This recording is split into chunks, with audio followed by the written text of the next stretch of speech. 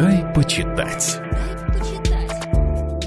Здравствуйте, я Ксения Станиславовна Лисарева, профессор Вятского государственного университета. Четыре переводчика перевели на русский язык книгу итальянского историка, филолога, профессора итальянской литературы Университета Неаполя Карла Веччи. Тема его диссертации – исследование цивилизации эпохи Возрождения в Европе. Он долго работал над рукописями Леонардо да Винчи и опубликовал книгу о живописи, потом кодекс Арунделла, потом антологию сочинений и биографию биографию Леонардо. И вот в Государственном архиве Флоренции он обнаружил документ, датированный ноябрем 1452 года об освобождении женщин из рабства. Карла Вечи замечает, что это происходит полугодом позже рождения Леонардо да Винчи, и что в нотариальном акте говорится, что женщина была дочерью черкесского князя Якова, а документ был подписан отцом будущего гения Возрождения Пьеро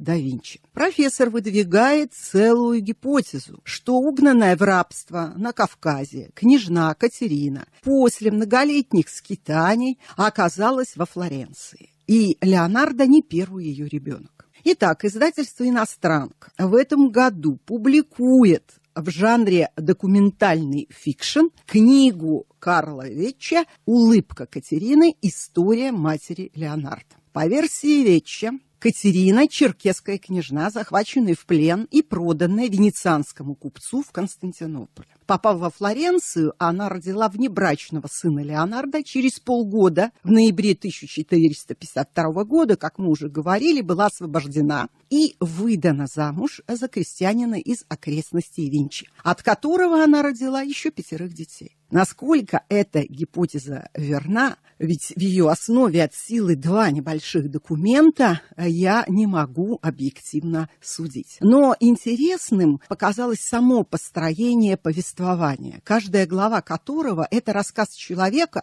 с которым Катерина так или иначе пересекалась на своем долгом пути с Кавказа в Милан, где умерла и была похоронена. Много вымышленных персонажей, но для убедительности среди рассказчиков – есть и реальные исторические личности. Ну, например, дед Леонардо, купец и путешественник Антонио да Винчи. Думаю, что искать объективную историческую истину ни к чему.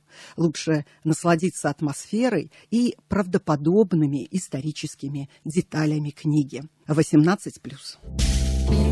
Дай почитать.